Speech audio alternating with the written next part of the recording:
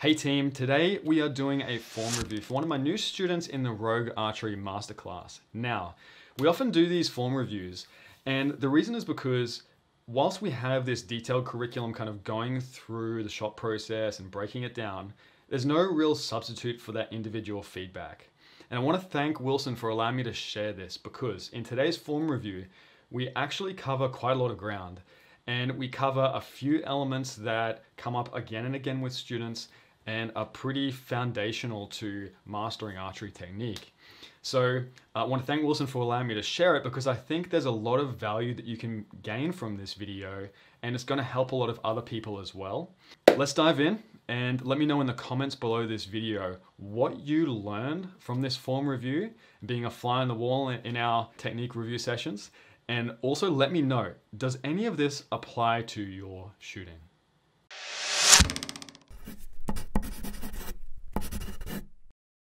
G'day Wilson, how are you buddy?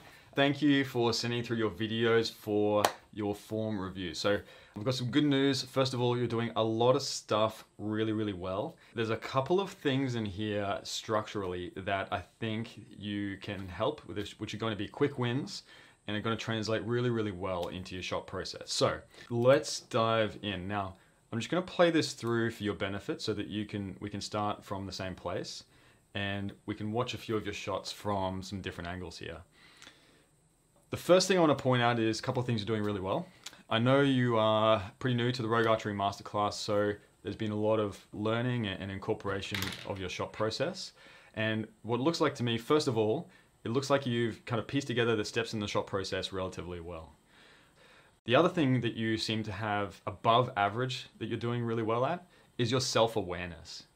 So when you sent me these videos, you actually sent through some quite detailed comments, also breaking down the things that you've been working on and the things that you're aware that you need to continue to work on. Uh, we're going to address some of that today, but really where I think I can add value is instead of just telling you what you already know, I think I can help you direct it. Because whilst you've got some good awareness of what the things you need to work on, um, I think that, yeah, there's too much. We need to break it down into some sort of prior priorities, um, focus on things in a progressive sequence so that you can incorporate it. And I can also recommend how to incorporate that within your, you know, your training drills and things like that. Let's dive in. First of all, there's a couple of, of basic things here we can look at. As you know, when anytime we're addressing the shot process, it's very important that we actually address things in sequence. So um, anytime I'm breaking down form, we first look at technique structure and then we look at shot execution because one links onto the other. If you have issues in your technique structure, so your posture, your alignment, your setup position, your head position, or whatever, then that always translates into shot execution. And what you can do as a coach, you can actually look early in the shot process at the earliest possible stage where issues arise from and if you address them at the root cause, often what you'll find is further issues just kind of resolve themselves. And it's amazing how easily you can kind of fix form issues using that very simple uh, philosophy. What we're going to do is look at, first of all, uh, one of the first steps in the shot process. So stance is looking good. Um, posture, um, you, you do have this chest down position, um, but I want to look at the setup position. From this setup position, obviously the setup position is where we set uh, the hook onto the string, the bow hand into the grip, the pressure point into the grip, and we apply a little bit of tension just to kind of set it all in place. We also look at the target and set our head position. Um, so you, you're kind of doing all that, but there's a couple of things that you can tweak here. First things first, I'm going to actually compare this to myself. Let's just get a little get a little comparison going here. What I want to point out is in this setup position from here, okay, I want to point out the angle of your bow arm. Okay, so if we look at how high you have to raise your arm, if we just measure to approximately horizontal, just to give us a frame of reference. And if we look at how mine's looking here.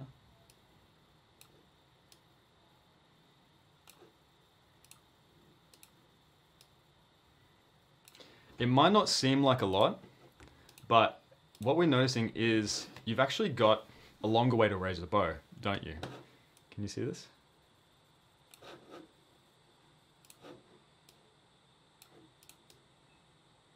Okay, so from this position, um, your bow is actually a lot lower. Now, why is this? This is a very quick win, mate. This is something that you can incorporate without much uh, change. And all I want you to do is when you're going into the setup position, I want you to balance this bottom limb against your thighs. You can see that I'm doing here. And what this means is that the mass weight of the bow isn't just hanging off your front shoulder here. It's actually kind of resting against your thigh and it's going to be a much more efficient to raise the bow from this position. As you then go and raise the bow, it's going to be a lot more efficient. Now, the reason why this is so important is when you're, um, this is one of the things that doesn't, that can pick up as a bad habit early on when you're working with a training bow that doesn't translate so well as you progress. So let me give you an example. With a training bow or when you're first learning technique on a, on a light bow, there's often very little mass weight on the bow. So this kind of starting position, you wouldn't really even notice that it's impacting your shot process, right? You're not going to get tired, you're not going to feel it because the bow is so light. However, as you progress and as you add V-bars onto the bow weight and as you increase your draw weight, you'll, in proportion, you'll increase the ma mass weight of the bow generally in proportion to that, then it'll start to become more and more of an issue. And so even if you're just raising that bow a little bit extra, what it does is it tends to strain the deltoids and, um, and the traps on that drawing side and over engage those muscles. Whereas through our archery technique, what we want to do is we want to make everything as efficient as possible. If we can gain 1% efficiency, let's go for it. So in this instance, um, you might think that, okay, yeah, I can, I'm not feeling any issues, but as you progress and as your bow mass weight goes up, this will become increasingly important. It'll mean that um, when you start from a more efficient position, you're not going to be as fatigued from raising the bow. Um, inefficiency means fatigue, fatigue means inconsistency. And it's also going to mean that, you know, if you're shooting, start to shoot up more, um, a higher volume of arrows, two, three, 400 arrows a day, then that efficiency um, translates into more inconsistency. So honestly, mate, this is an easy win. We're just going to bring that, we're just going to bring that bow onto the thigh here from the setup position. And honestly, this is, this is not even really a form change. It's just a process change. So that is a quick one. Now, the next thing I want to look at is kind of more posturally. So I'm going to draw some lines on here just to give us a frame of reference for your posture and your head position. How's that look? Okay, so if we can agree that this is your starting position, um, good thing is you've given us some quality video footage off a tripod, which means that we can pick it apart. Some of my students will send me a, a handy cam from their mate who's also eating a banana at the same time, and it's very, very hard to analyze that footage. So this is good stuff because what it means is we can we can see you can see how we can analyze the shot process at a higher resolution. So let's have a look here. Okay, we've got a setup position. Raise, pre-draw. Okay, something's happened here, hasn't it? Let's look at this slowly. As you're raising the bow, there's like, and doing pre-draw, there's this postural shift. Okay, and there's also quite a lot of head movement. So this is something that we should address next. Like I said, we've got to address issues in form at the earliest possible stage within the shot process because otherwise this is going to translate very, very poorly as you progress in your shot process. So let's look from a different angle. Get rid of these. Okay, so here we have setup position, little hip tuck there. I did notice, so just, you know, at the start, you know, you have the normal lumbar curvature in the lumbar spine, and then you have a little chest down technique, so you flatten your lower back, that's good. You could potentially have a little bit more hip engagement, rotating the hips in this direction a touch more, just to engage a little bit more stability through the hips. but in terms of um, chest down technique, that's looking not too bad. But, okay, we see a couple of other things happening here. If I just draw some vertical lines, we can see through the shot process quite a lot of postural shift, can't we? Even almost like swaying um, as you go through your shot process. So it's not that you're, you know, I've seen much, much worse in terms of arching the back. You know, your chest down technique is not too bad. Like I said, maybe a little bit more hips tucked in, hip engagement to gain more stability. But it's more your sense of balance, you know, your sense of weight distribution seems to be a little bit off. So um, and from the first angle, we also saw that there was kind of this postural shift and head movement in the lateral plane, right?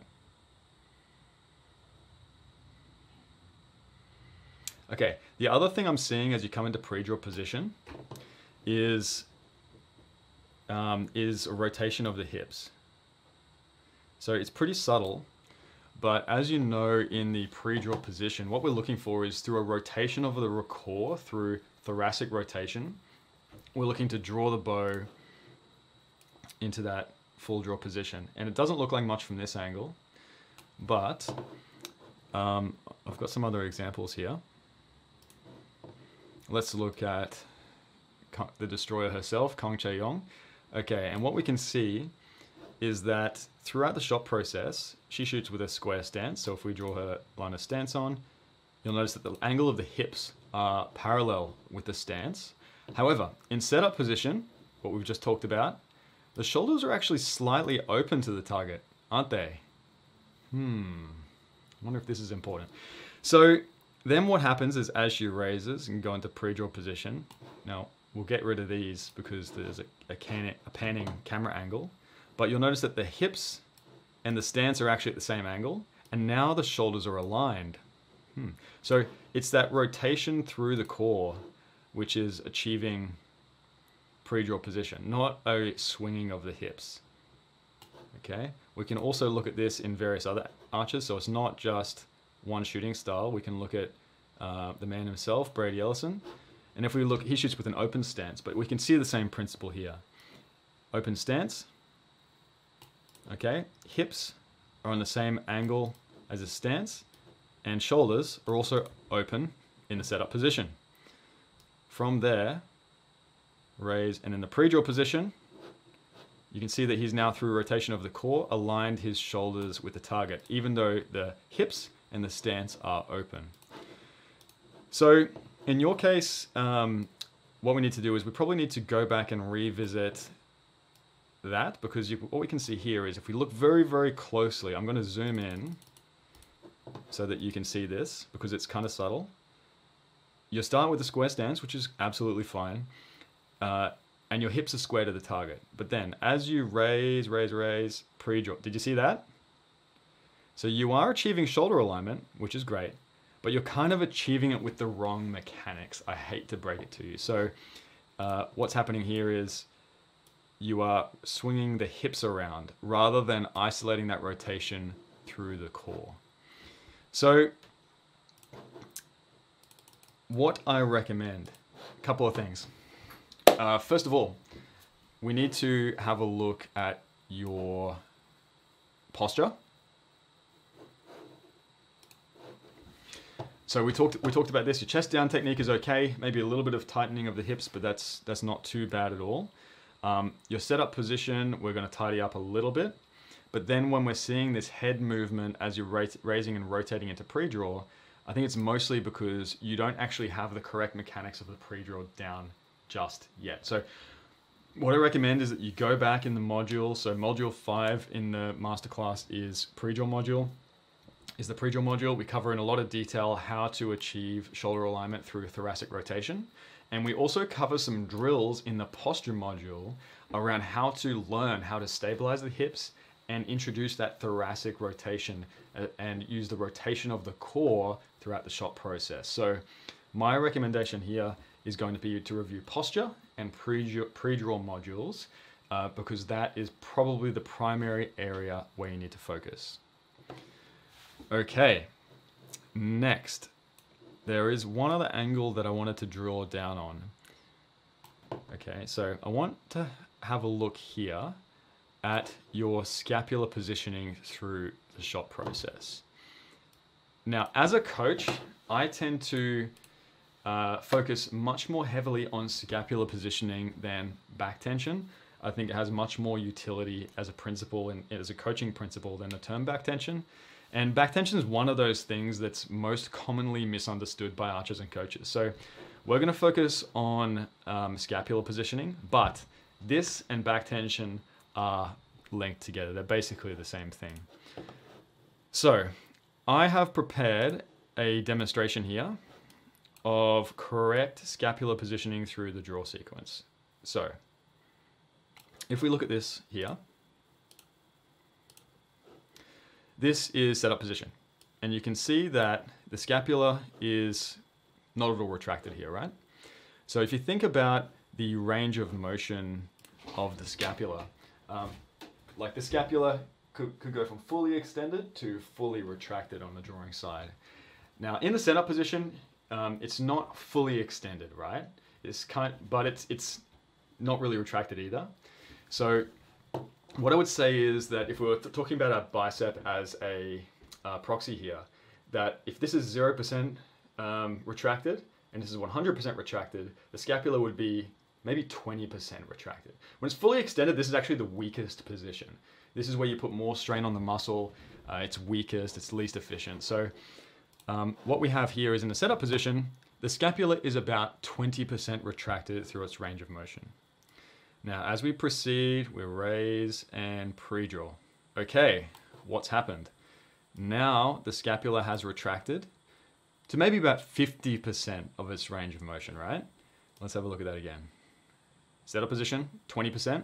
Raise pre-draw, 50%. Now, with a recurve bow, this is very important to understand because what happens as you draw a recurve bow back further and further and further? Well, the poundage increases, doesn't it? So it kind of makes sense that when we talk about um, muscular output in terms of uh, power threshold, when the muscle is fully extended, if we talk about the bicep, this is the weakest position. And as you contract, actually the, the recruitment of high threshold muscle fibers increases and power output increases. So fully contracted muscle is actually the highest in isometric strength. So what this means is as you're drawing back your bow, the position through the draw sequence where the weight of the bow is lowest is the weakest position. And as you draw the bow back and it gets heavier, you're actually recruiting higher threshold muscle fibers and creating more power output as the scapula retracts. Remember that. Okay, so now we have pre-draw position, 50% retracted. Next, we complete loading and anchor. Whoops, excuse me. Um, and in this position, the scapula is more like 80% retracted through its range of motion. This is a very powerful position. It's very important that in the full draw position, the scapula is not fully retracted. It's not 100% retracted to the end of its range of motion. If you do that, it means it has nowhere left to go, right? You have no expansion left. And this is often a problem when people use the term back tension because it's possible just to kind of squeeze the muscle fully retract, over retract the drawing side scapula, and you're feeling the muscle squeezing, but you have nowhere left to go, so it doesn't actually create any power or expansion. So in this position, we have uh, the scapula retracted about 80% through its range of motion. It's quite powerful, and um, also as the, the draw weight is high in this point, we have a lot of power and control of expansion through the clicker. And then what happens is expansion, release follow through, and the scapula is now 100% retracted. So let's review this through the draw sequence. Setup position, 20%. Raise pre-draw, 50%. Loading anchor, 80%. Release follow through, 100%. Does that make sense? Okay, I hope it does because it is important. Now, I've got another demonstration here of what you are doing. So let's have a look at this. I've just, just done this for a demonstration. You're also not the first person to do this, and I've done some other examples in the uh, of students in the course um, demonstrating this. is that, okay, raise, pre-draw, looking good. Let's start again. Scapular position, 20%, raise pre-draw, 50%, loading, anchor. Ooh, what happened there? Okay, so what's happened is, and this is very, very common, is that um, it's all looking good, all looking sweet. You do retract the scapula as you're drawing around during the loading phase. And then why does the scapula lose positioning here? Well, it's related to the path that the elbow follows. Watch this. As the elbow raises into anchor position, it's very easy to lose the scapular position in this direction. Okay? So in the correct one, I just want to highlight this. The correct one is, yes, the scapula draws down and around during loading, but then as the elbow raises, see the elbow does come up to create a connection with the, the jawline and anchor there, but the scapula stays down, isn't it? All right, so we're going to examine this a lot closer. So, in your instance, I'm going to uh, come back to this again, and then we're going to break it down in far more detail. Okay, pre-draw, loading, and then the scapula comes out. And generally what happens at this point in time is the, trench, the tension is lost uh, in these kind of the lower scapular retractors. And the articulation of the shoulder girdle is just incorrect. And generally here, the tension is transferred into upper traps. So um, this is a bit of a problem. And what this means is that through the release and follow through, you lose power. So let's look back to you again. Zoom right in on this sucker. Okay, so we're looking at scapular positioning throughout the draw sequence. Okay, set up position. Raise. Pre-draw. Maybe. Loading, and you can see that your scapula does retract, but then as you lift the elbow, what happens? I'm going to turn these off for a second. For the untrained eye, you might miss this, but look, you, you retract the scapula, elbow comes up, and the scapula moves this direction, doesn't it? Okay. Then as you release, the scapula actually finishes out in this position. So you're kind of transferring here into uh, shoulder extensors and upper traps rather than the correct recruitment of the scapular retractors. I know this looks like a little smiley face, that's unintentional. Okay, so let's discuss elbow tracking. Now, obviously, uh, a primary focus, the primary point of articulation during the loading step of the shot process is the retraction of the scapula. However, um, we also, the elbow must follow a very specific path through the loading step uh, in order to maintain the correct scapular engagement. It's it's connected, you see. So the elbow is an extension of the, you know, it's connected to the shoulder girdle. So if you have incorrect articulation through the shoulder girdle and the scapular retraction, then it translates into the elbow. And so by focusing on elbow tracking through the loading step, you'll see what I mean. So here I've got an example here and you can see what I've sketched on here is in the green line is the elbow, the, the path that the elbow follows throughout the loading step. So here's pre-draw position, and as we go through loading, setting the drawing side scapula down and around, you have that downward movement of the um, elbow, and then as you continue to retract the scapula, the elbow moves around in this direction, but it also comes up into the anchor position and follows this kind of pathway.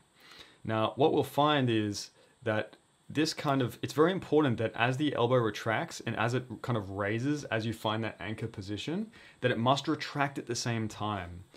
We find that often um, people who have incorrect scapular engagement, they tend to follow more of a pathway like this, okay?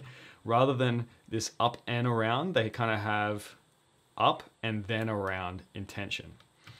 So this is incorrect, and so we can observe this in actually arches of many different styles. And so here we have Kang Chae-young, and you can see that she has this beautiful loading, engagement of the drawing side scapula, elbow coming up and around to form a really solid connection with the anchor and jawline. We can also see this with Brady Ellison. So he again has this uh, through the loading and anchor phase. He has this retraction of the drawing side scapula and it comes up and around. It follow, follows this beautiful elbow tracking pathway as he comes in, finds a nice deep connection with his anchor position. So what I suspect is that um, if we look at your elbow path, is that it's not quite the best uh, angle to see it here, but what I'm expecting is to see a bit more of a kind of a less fluid motion, less correct elbow tracking, and that we'll see the elbow kind of goes straight up and loses the retraction that of the, the shoulder extensors and the scapular retractors as you come into that anchor position. So if we have a look, yep, you do have scapular retraction. Oh, I've missed my mark on that one. My lines are all over the place. But you can see that as you're anchoring, you do have that kind of uh, straight up action here going on. Can you see you do have that happening? So you're not quite continuing the retraction of the drawing side scapula as you're raising the uh, elbow into the full draw position. And the other thing that can happen here is sometimes the elbow will be too high. So if the elbow is too high, then obviously at some point, I'll demonstrate, at some point, if the elbow comes too high, you lose the scapular positioning and the correct engagement of those scapular retractors. So if we, we can check your elbow height here quite easily. So this is full draw position. And if we draw an extension from your pressure point through your hook, your elbow is not, not too bad. It's a, maybe a touch on the high side, but this is completely acceptable. It's just that maybe you're not quite keeping that scapula, uh, the correct scapular retraction happening on. So there we have it, mate. We've covered a few things, haven't we? So if I refer back to my notes here, um, priority one for you should be setup position. Very, very easy fix. This is something that you can probably fix, um, you know, five or 10 minutes and just rest, make things easy for yourself. Rest this lower limb on your thigh as a starting point and it's going to translate much, much better rather than just taking all the load onto your, your bow side shoulder. Um, you know, put it on, rest it on your thigh, and it'll mean it's a little bit more efficient when raising the bow. Next, you need to revisit the posture and pre-draw modules to kind of address this uh, and, and, give yourself the correct mechanics through drawing to pre-draw position using a rotation of the core um, and isolating rotation through the core and not swinging the hips.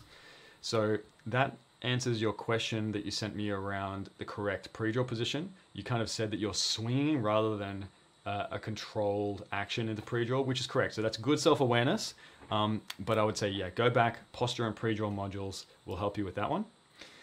And then the final thing that you need to revisit is in the loading step, okay? And so we cover this in the loading module in detail around scapular positioning. And we also have in the course, we have that module on uh, scapular control drills. So I go through, I have three drills in there. You can use a TheraBand or if you go to the gym, then actually cable machines are fantastic for uh, training the correct recruitment of the scapular retractors. And what I would do is I would prioritize them in that order. So one, setup position. Two, posture and pre-draw is going to be the next focus. While you're working on those things, the first one's a quick win. The second one's going to take a little bit of work to keep that correct recruitment of the, the posture and pre-draw. And the, the third one, scapular retraction, is also going to take a bit of work and may take a little bit of motor control training and strength training as well. So um, what I would do is I would, um, I feel like it's, it's very manageable for you to focus on those things uh, together. I would also, I'm also aware that you have recently introduced the clicker into your training. Um, now that's fine, except we have a few uh, structural issues to address in your technique before I think you're ready to start uh, shooting with the clicker. The reason I say this is that anytime we address something in your technique structure, this has an impact on your draw length, right? And so when you fix the clicker, you're fixing the draw length. And so you can end up kind of compensating for the clicker and introducing bad habits rather than just learning the correct shot mechanics. So your feedback to me was that uh, you were actually, you put on your clicker and your scores went down. All right. I'm actually not surprised because uh, I think in particular that scapular positioning means that you're not really engaged to expand properly and properly use the clicker. But I think if we can address setup, pre-draw and loading, mate, you're going to be on track and it's going to really increase your clicker control. When we put in that clicker, you'll be able to very easily learn how to master your expansion and timing uh, through that clicker expansion range. So let me know if you have any questions. Let's have a catch up and, and talk through it. But I hope this video review has been helpful and given you a bit of direction on what to work on next. So what do you think of this form review, guys? We covered a lot of ground and I'm really hoping that you can take some value out of this, some little nuggets of wisdom and incorporate it into your shot process. Now, if you're looking for more, then there's actually some free preview modules that you can view from the Rogue Archery Masterclass uh, at archerymasterclass.com. I'll link it up down below. And yes, you can view some of those modules completely for free and get as much of it out as you can. I won't judge you. But if you do want to join our community and get involved in these form reviews and access the full coaching curriculum, um, then please go check it out and I hope to see you there. Peace.